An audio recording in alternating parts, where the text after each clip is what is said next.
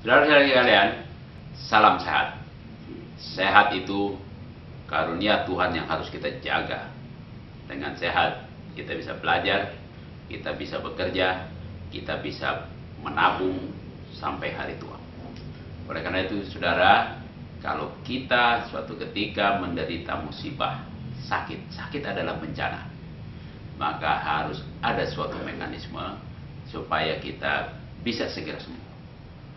Untuk itu harus ada jaminan namanya jaminan kesehatan nasional. Ini yang akan kita kembangkan ke depan. Kenapa kita perlu jaminan kesehatan nasional? Karena saudara, sehat itu memang murah karena karunia Tuhan, tapi begitu kita terkena bencana sakit menjadi sangat mahal.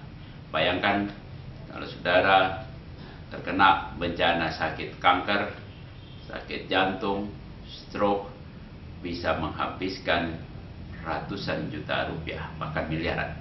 Membuat rumah tangga menjadi bangkrut. Di dunia, 150 juta orang setiap tahun menjadi miskin karena sakit berat.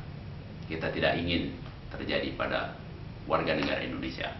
Oleh karena itu kita kembangkan yang namanya jaminan kesehatan nasional agar semua rakyat Indonesia dari lahir sampai mati jika terkena bencana kita tidak ingin ada bencana tapi jika bencana datang kita tidak boleh jatuh miskin karena tidak mampu berobat tidak mampu bayar biaya berobat. Biaya berobat mahal saudara. Oleh karena itu harus ada mekanisme harus ada cara kita bisa bayar. Caranya bagaimana? Gotong royong. Apa itu gotong royong? Kita menyumbang uang, kita membayar uang ketika kita sehat. Karena ini sedia payung sebelum hujan. Ketika bencana datang, kita tidak perlu lagi cari-cari uang. Sudah ada dana yang dikumpulkan dalam program jaminan kesehatan nasional.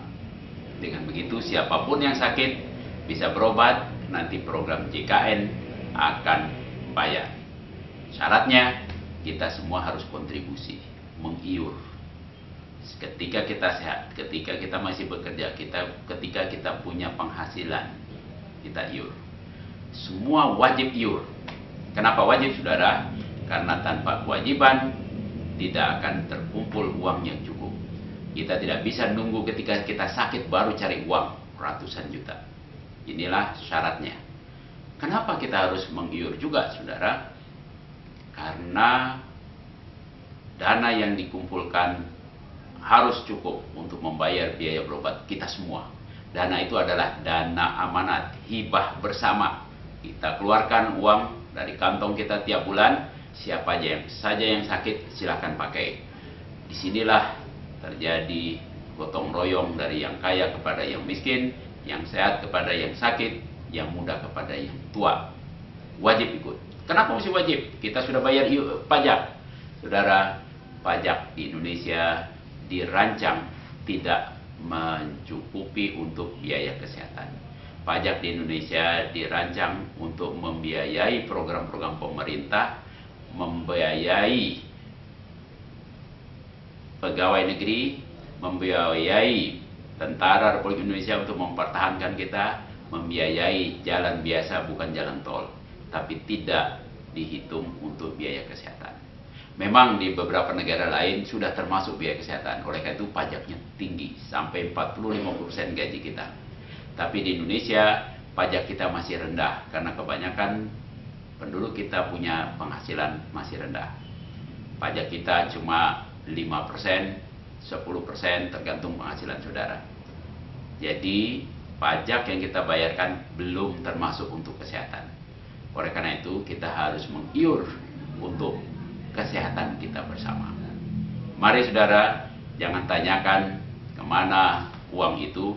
Saudara saksikan bahwa semua yang sakit akan mendapat pengobatan. Di situlah uang kita yang kita kontribusi untuk menolong saudara-saudara kita yang kebetulan kena musibah, kena bencana, sakit.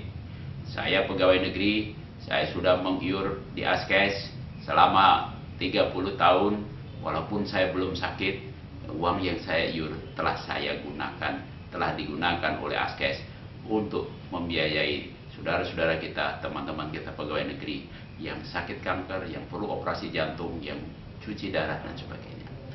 Begitu juga nanti tidak hanya pegawai negeri, tapi seluruh penduduk akan mendapat jaminan yang sama oleh BPJS yang sekarang namanya ASKES.